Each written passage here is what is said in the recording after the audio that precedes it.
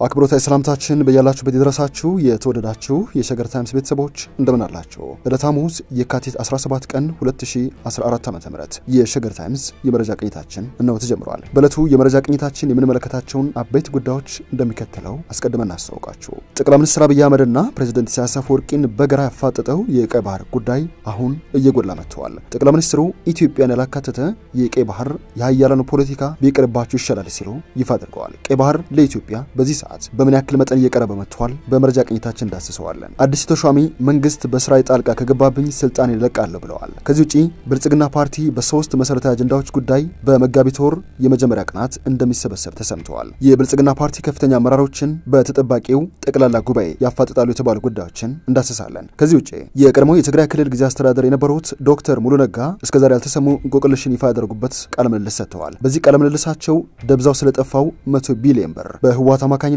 ታቅዶለት የነበረው የአስመራውን ሚስጥራዊ እቅድ በተመለከተ ይፋ አድርገዋል። እነዚህ ጉዳዮች የዕለቱ የመረጃ ቅኝታችን ማጠንጠኛዎች ናቸው። እንድትሰሙን በአክብሮት ጋብዘናል። የሸገር ታይምስን ዕለታዊ ዜናዎች፣ ትንታኔዎች እንደዚሁም የመረጃ ጥንቅሮች like፣ share አድርጉ። ሸገር ታይምስንም subscribe ያደረጋችሁ ቀዳሚ የመረጃ ምንጫችሁ እንድታደርጉን የዘወትር አክብሮታዊ ግብዣችን ነው። ወደ ቀዳሚ ጉዳያችን አመራን። ጠቅላይ ሚኒስትር አብይ አህመድንና ፕሬዚደንት ኢሳያስ አፈወርቂን ያፋጠጠው የቀይ ባህር ፍጥጫ ምክትል ጠቅላይ ሚኒስትርና የውጭ ጉዳይ ሚኒስትር አቶ ደመቀ መኮንን ያሳለፍነው ሳምንት አንድ ልዑክ እየመሩ በጀርመን ሙኒክ ከተማ በ58ኛው የጸጥታ መድረክ ጉባኤ ላይ መሳተፉ ይታወሳል። በዚህም ከስዊድን፣ አየርላንድ፣ ጀርመን እንደዚሁም የሌሎች ሀገራት የውጭ ጉዳይ ሚኒስትሮች ጋር በእውቀት ሽግግር፣ ሰላምና ደህንነት እንደዚሁም በአየር ንብረት ለውጥ ዙሪያ መክሯን ነው የተባለው። የውጭ ጉዳይ ሚኒስትሮቹ ኢትዮጵያ ሰላምን ለማረጋገጥ እያደረገች ያለውን ጥረት እንደሚያደንቁና ድጋፋቸው እንደማያቋርጡ መግለጻቸው ተጠቁሟል። የውጭ ጉዳይ ሚኒስትር ቃል አቀባይ አምባሳደር ዲና የቀይ ባህርና የአፍሪካ ቀንድ ሀገራት የሚጋሯቸው ችግሮች ስላሏቸው በቅንጅት መስራት እንዳለባቸው በውይይቱ መነሳቱን አብራርተዋል። በአፍሪካ ቀንድ የአሚሶም ተልዕኮ በአፍሪካ ቀንድ ሽብርን ለመከላከል የጎላ ጠቀሜታ አለው መባሉን የገለጹት ቃል አቀባዩ በቀይ ባህር ፎረም ላይ ኢትዮጵያ መገለል የለባትም የሚል መልእክት መተላለፉንም ጠቁመዋል። ህገወጥ ስደትና ህገወጥ የጦር መሳሪያ ዝውውርን በጋራ መታገል እንደሚገባም አጽንኦት እንደተሰጠበት ገልጸው ይህ ዝውውር ደግሞ በቁልፉ የቀይ ባህር ኮሪደር እንደሚከናወን ይታወቃል ባይ ናቸው። የአፍሪካ ቀንድ ሀገራትን ለማስተሳሰር ኢትዮጵያ የአንበሳውን ድርሻ ለመጫወት የሚያስችል ብቃት እንዳላትም ምክትል ጠቅላይ ሚኒስትርና የውጭ ጉዳይ ሚኒስቴር ደመቀ መኮንን በሙኒኩ ስብሰባ መሞገታቸውን ነው አምባሳደር ዲና የጠቆሙት። ከአቶ ደመቀ በተጨማሪ ዶክተር አብይ አህመድ ባሳለፍነው የፓርላማ ረጅሙ የጥያቄና መልስ ንግግራቸው ላይ ከምክር ቤቱ አባላት ኢትዮጵያ በቀይ ባህር ላይ የሚኖራት እጣ ፋንታ ምንድን ነው በሚል ጥያቄ ተጠይቀው በመለሱበት ንግግራቸው የሀያላኑ ሀገራት ኢትዮጵያን ያገለለ የቀይ ባህር እቅድ ወይንም የፖለቲካ አካሄድ ቢቀርባቸው ይሻላቸዋል በሚል በአጭሩ ምላሽ መስጠታቸው ይታወሳል። አንድ መቶ ሚሊዮን የተሻገረ ህዝብ ያላትን ኢትዮጵያ ያገለለው የቀይ ባህሩ የፖለቲካ ንግግርና የኃይል አሰላለፍ መዘዙ እጅግ የበዛ ነው።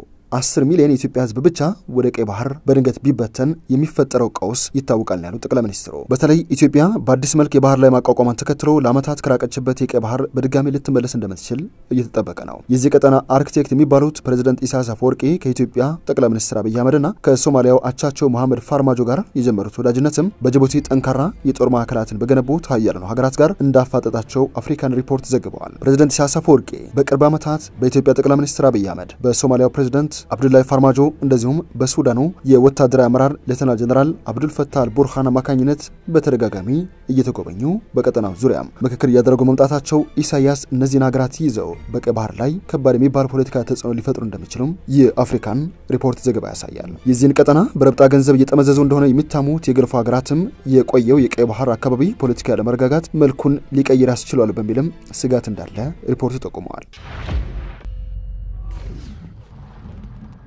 ወደ ሁለተኛ ጉዳያችን አመራን። በቅርቡ የሀገራዊ ምክክር ኮሚሽን ሰብሳቢ ሆነው የተሾሙት ፕሮፌሰር መስፍን አርአያ መንግስት በኮሚሽኑ ስራ ላይ ጣልቃ የሚገባ ከሆነ ኃላፊነታቸውን በፈቃዳቸው እንደሚለቁ ይፋ አድርገዋል። ፕሮፌሰር መስፍን በህዝብ ተወካዮች ምክር ቤት በተካሄደ የትውውቅ መርሃ ግብር ላይ ነው ይህንን ጉዳይ መናገራቸው የተሰማው። የኢትዮጵያ ህዝብ ተወካዮች ምክር ቤት ማህበራዊ ትስስር ገጽ ይፋ ባደረገው መረጃ አዲሱ የምክክር ኮሚሽን ሰብሳቢ ፕሮፌሰር መስፍን አርአያ የጠቅላይ ሚኒስትር አብይ አህመድ መንግስት በኮሚሽኑ ስራ ጣልቃ ከገባ ወዲያውኑ ስልጣን እለቃለሁ ብለዋል። የምክር ቤቱ አፈጉባኤ ታገሰ ጫፉ በበኩላቸው ኮሚሽኑ ገለልተኛ እንዲሆን ያሳሰቡ ሲሆን ከገንዘብ ሚኒስቴር ጋር በመነጋገር ለኮሚሽኑ አስፈላጊውን በጀት በቶሎ እንዲመደብለት ጥረት እንደሚያደርጉም ተናግረዋል። የዕለቱ የመረጃ ጥንቅራችን ቀጥሏል። የተወደዳችሁ የሸገር ታይምስ ቤተሰቦች ወደ ሌላኛ ጉዳይ አመራን። የብልጽግና ፓርቲ የመጀመሪያውን ፓርቲ ጠቅላላ ጉባኤ ከመጋቢት 2 እስከ 4 2014 ዓ.ም ለማድረግ እቅድ እንደያዘ ተሰምተዋል። የፓርቲው ስራ አስፈጻሚ ምክር ቤት ዛሬ እንደሚጠናቀቅ በሚጠበቀው ስብሰባ ከሚነጋገርባቸው አጀንዳዎች መካከል የዚሁ ጠቅላላ ጉባኤ ዝግጅት አንድ መሆኑን ከፓርቲ ምንጮች የወጡ መረጃዎች ያሳያሉ። ከአንድ ወር ባነሰ ጊዜ ይደረጋል ተብሎ በሚጠበቀው በዚሁ የብልጽግና ፓርቲ ጠቅላላ ጉባኤ ከተያዙ አጀንዳዎች መካከል የፓርቲውን ፕሮግራም ማጽደቅ፣ አዳዲስ አመራሮች መምረጥና እንደዚሁም የፓርቲውን የቁጥጥር ኮሚሽን ሪፖርት አዳምጦ ውሳኔ ማሳለፍ የሚገኙበት እንደሆነ ነው የዋዜማ ዘገባ የሚያሳየው። የኢትዮጵያ ብሔራዊ ምርጫ ቦርድ ህዳር 23 ቀን 2014 ከፓርቲዎች ጋር ባደረገው ምክክር በምርጫ ህጉ መሰረት ከስድስተኛው ሀገር አቀፍ ምርጫ መጠናቀቅ በኋላ ጠቅላላ ጉባኤ እንዲያካሄዱና የሰነድ ማሻሻያ እንዲያደርጉ የተገለጸላቸው ፓርቲዎች የሚጠበቅባቸውን አጠናቀው ባለመቅረባቸው የአስቸኳይ ጊዜ አዋጁ በተነሳ በአንድ ወር ውስጥ ጠቅላላ ጉባኤያቸውን እንዲያከናውኑና ለቦርዱ እንዲያስገቡ መወሰኑን በምክክር ወቅትም ለፓርቲዎቹ መገለጹ ይታወሳል። በዚህ መሰረት በአንድ ወር ጊዜ ውስጥ ጠቅላላ ጉባኤ እንዲያካሄዱ ከተገለጸላቸው 26 ሀገር አቀፍና ክልላዊ ፓርቲዎች መካከል ብልጽግና ፓርቲ አንዱ እንደሆነ ይታወቃል። በመጨረሻም የቀድሞው የትግራይ ክልል ጊዜ አስተዳደር ዋና ስራ አስፈጻሚ የነበሩት ዶክተር ሙሉ ነጋ እስከዛሬ ያልተሰማ ጉዳይ ይፋ አድርገዋል። ደብዛው የጠፋው መቶ ቢሊዮን ብር ጉዳይ ጠቅላይ ሚኒስትር አብይ አህመድ ያቋቋሙት የትግራይ ጊዜ አስተዳደር ያልተገማገመበትና እኔም በይፋ የተወቀስኩበት ቢሆንም መረጃም ማስረጃም ያልተገኘበት ጉዳይ ነው ብለዋል። ህወሓት አስመራ በቅድሚያ እቅዱ እንዳልነበረች ይፋ አድርገዋል። ዶክተር ሙሉ ነጋ የትግራይ ወታደራዊ ዘመቻ በአጠቃላይ ህግ ማስከበር ነው የሚሉት ዶክተር ሙሉ ዝም ብሎ ሲታይ ያን ጊዜ የመከላከያ ሰራዊት ሰሜን እዝ ሲመታ ወዲያውኑ ለሀገር ስጋት ነው፣ ጉዳዩ ግልጽ ነው ይላሉ።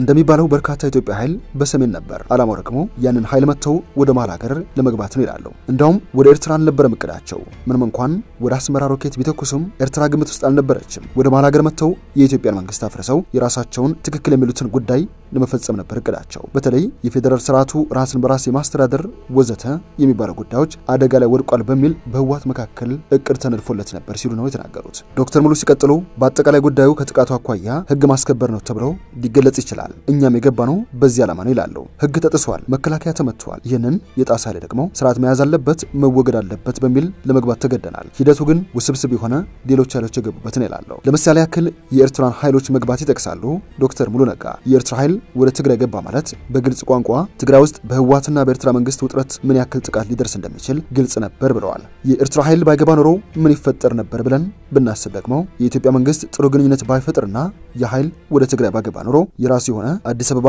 ሌላ ችግር ይፈጠር ነበር። በመሆኑም የኤርትራ ወታደር በትግራይ ድንበር አቅራቢያ በጊዜው መግባቱ የራሱ ቀጠናዊ ጠቀሜታ እንዳለው ገልጸዋል። በግልባጩ ግን እነሱ ወደ ትግራይ ሲገቡ በትግራይ ህዝብ ላይ የተፈጠረው የመጠቃት ስሜት ነው። ለህወሓትም ትልቅ አጀንዳ የፈጠረው ይህን ይላሉ። ከኤርትራ ጋር ሆኖ የኢትዮጵያ መንግስት ሊያጠቃን የሚሉት ነገር በትግራይ ህዝብ ምክንያት እምነት እየፈጠረ መጣ።